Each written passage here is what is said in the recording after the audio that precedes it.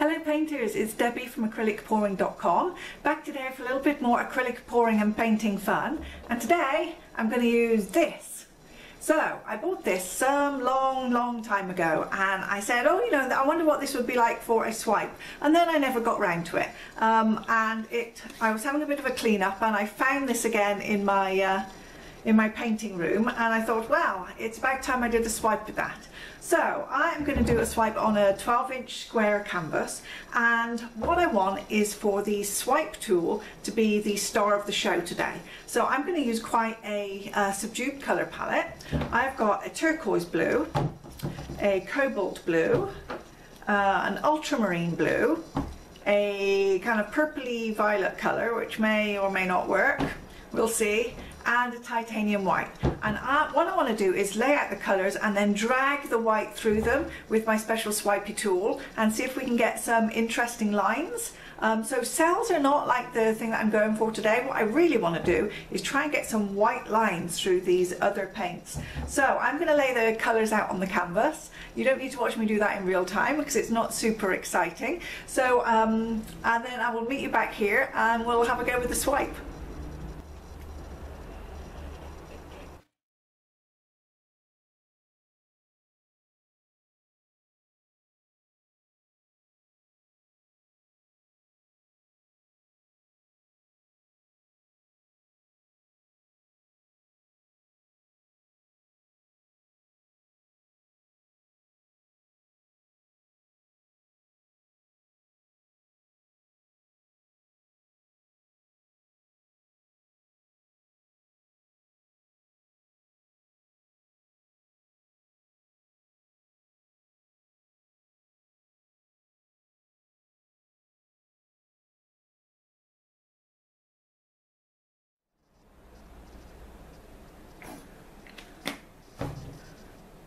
Okay, so my colours are all laid out, so let's go with this swipey tool and uh, see what we can make of it. I think I will start on one edge and kind of work my way across. Uh, ideally, it would be great if it was a bit wide enough that I could do the whole canvas in one because I think we may spoil the effect by doing it several times. But anyway, let's give it a go and see what happens.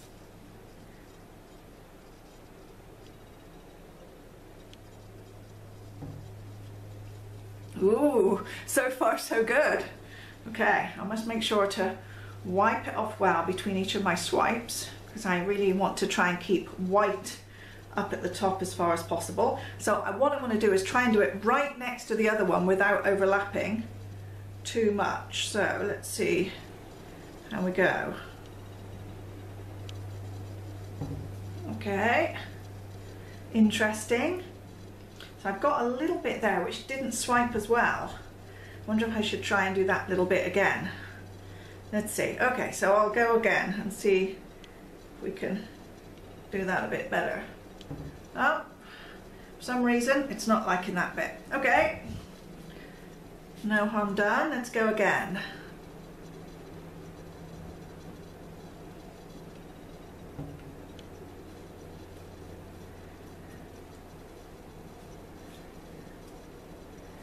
And the last one.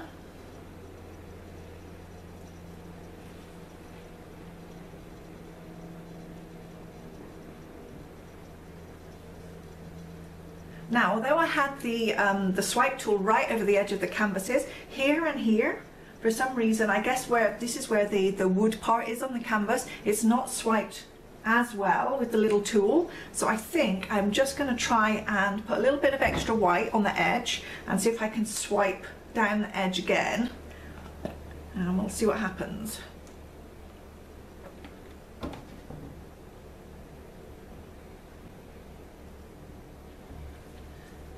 Okay, I think that's better. Let's do this side too.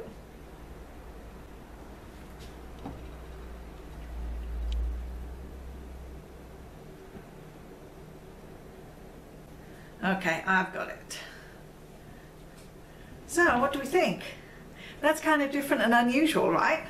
I like it a lot. Now I've got, um, as I said, there were some lines, you know, where the tool wasn't um, wide enough to do the whole thing at once. So we have got some slightly different lines in it where the tool kind of butts up against where it had done last time or slightly overlapped.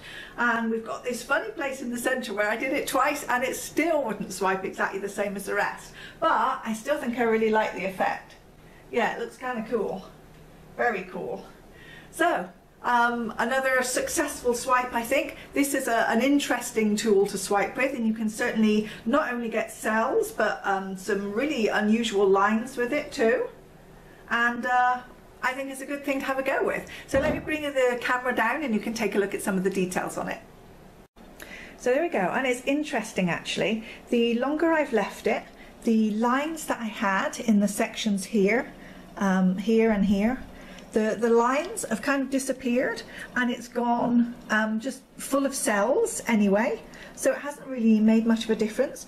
But this in this area here, where I used the swipe tool um, a second time, it's definitely made more um, definite lines and those lines have stayed a lot more in the section where I just did it once. So you can therefore pick which look you want. If you want to use the tool, you can just swipe once and get, you know, this kind of celled look through the painting, or if you want, swipe a second time and then you get the more defined lines. As it is, I think I like the variety, so I'm going to leave it as it is rather than go over the whole thing twice. And certainly the, the colours look really nice. Now, unfortunately, the way the camera works, it's kind of making everything look blue and everything looked the same blue, which is a bit unfortunate because there's actually a, quite a lot of variation in the colour. We've got a lot, well you can see the colours, you can see the light blues and the dark blues and the purples and so on in this section here. And uh, the cells with all the, the white, I think it looks really cool. And the white has been dragged all the way down to the bottom and we've got this lovely, lovely look here too.